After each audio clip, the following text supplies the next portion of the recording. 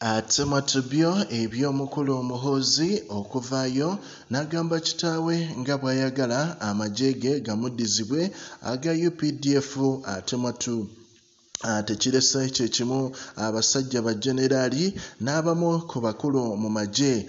Ku progen media nsonga za mawulire era n'agamba sheikh mukisa ate mwatu yeewaayo okuyamba ku nsonga eziganye emusindikire obubaka mu mesagi awo ku whatsapp ajaba ate. Mwatu akolako gwe ali e jordan gwe ali e qatar ali oman saudi arabia n'ali e uganda na yonna gy'osinziira era nga mwatu naffe tukwebaza okubanga ku mukutu kwoli ensonga zeeyongedde okubanga ate mwatu zitabukira ddala.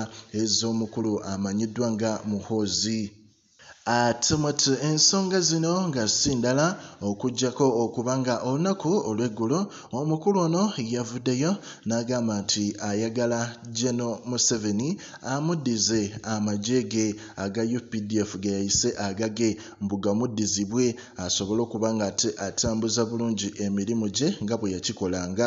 So si nga kati nga talina yadde negye lyadduumira ye agamba nti bano ab'amagye babe ye agamba amagye gano gage. Naye ebigambo bino tebyalese kyekimu bajeno abamu. Omwabaddemu katumba amala bajeno abalala abakulu. Ate mwatu abalagidde ddala nti ensonga omukulu ono engeri gyazikwatamu ate mwatu si nambulukufu ebigambo ngaebyo obyogera ate mu ggwanga ng'ate okyali mu magye ate nga naawe tonafuuka pulezidenti w'eggwanga lya uganda okukola statement ng'ezo ate mwatu oba olagira ddala nti tossa kitiibwa mu kye bayita ggwanga.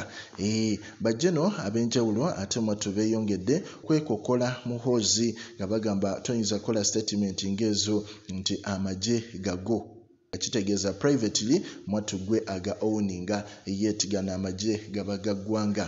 Naye ekisinga okwewunyisa abantu court marshal yo tenavaayo kwogera ku nsonga zino kubanga zino ensonga ate mwatu ziba za court marshal oba olina obitebya oba mu updf act mwalimuko nti amagye gano gagenda kuba ga ssekinnoomu oba ga ggwanga.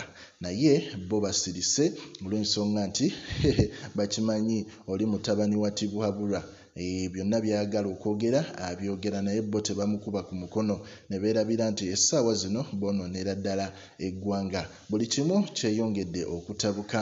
Naye nga nkomawo ne story ey'omukulu ssemujjuŋŋanda ate mwatu bwe yavuddeyo n'atabukira.